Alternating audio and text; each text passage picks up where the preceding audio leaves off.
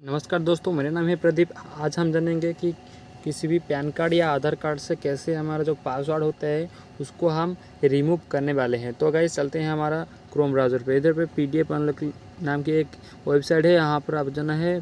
I love P D F यहाँ पर आपको क्लिक कर लेना है। और कुछ समय वेट करने के बाद सिलेक्ट आपका जो फोल्डर में आपका जो पी डी एफ़ है, उसको आपको सिलेक्ट करना है। तो मेरा तो पहले से एक बार सिलेक्ट किया था, इसलिए होम स्क्रीन में आ गया है।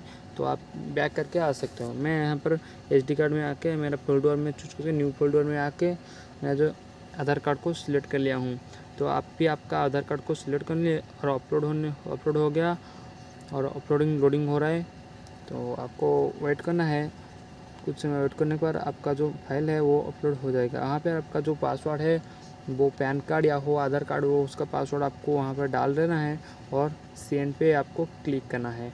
तो मैं डाल के सेंड कर देता हूँ। तो यहाँ पे आपको जैसे डाउनलोड अनलॉक पीडीएफ जो लिख रहा है, आपको वहाँ पे सिंपली डाउनलोड कर लेना है। और मेरा जो सिंपल डाउनलोड हो चुका है, देख सकते हो, मेरा जो आधार कार्ड है, वो डाउनलोड हो चुका है, जो कि बिना पासवर्ड के।